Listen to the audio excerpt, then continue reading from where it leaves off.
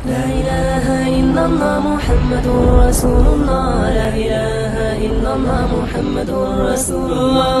لا إله إلا الله محمد رسول حضرت علی کرم اللہ وجہ کی حضور سے محبت کا حال اس کو قاضی عیاض رحمۃ اللہ علیہ بیان کرتے ہیں کہ حضور اکرم صلی اللہ علیہ وآلہ وسلم کے یہ پیارے صحابی سیدنا علی مرتضی رضی اللہ تعالی عنہ سے جب دریافت کیا گیا کہ کیف کان حبکم دی رسول اللہ؟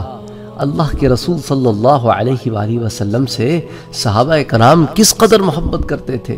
تو سیدنا علی مرتضی نے فرمایا كانا والله أحب إلينا من أموالنا وأولادنا وآبائنا وأمهاتنا ومن الماء البارد على على الظما۔ اللہ کی قسم، حضور اکرم صلی اللہ علیہ وآلہ وسلم سے ہمیں محبت کا عالم یہ تھا کہ ہم اپنے اموال، اپنی اولاد، اپنے آباء و اجداد اور اپنی ماؤں سے بھی زیادہ ان سے محبت کرتے تھے۔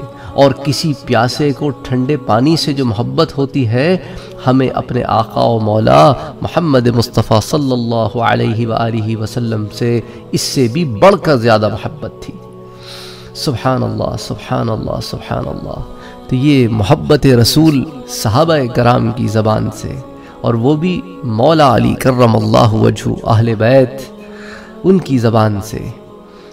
تو اس سے آپ اندازہ کریں کہ اس محبت کا عالم کیا ہوگا۔